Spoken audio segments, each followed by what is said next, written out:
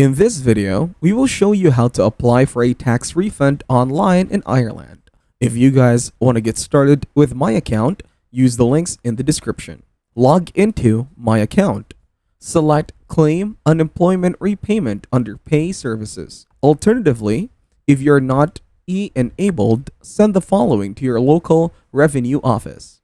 Completed Form P50, Income Tax Return Form 12 if you are registered for PAYE, Income Tax Return Form 11 if you are self-employed.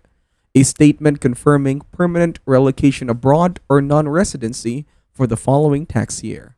So that is how to apply for a tax refund online in Ireland.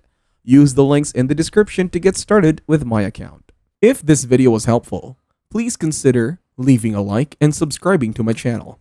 With that being said, I will see you in the next video.